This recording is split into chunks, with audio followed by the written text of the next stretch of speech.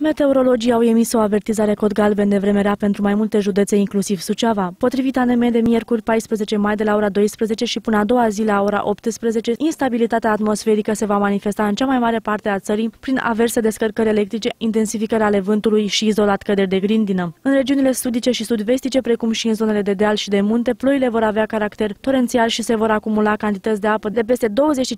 de litri pe metru pătrat și izolat peste 50-60 de litri pe metru pătrat.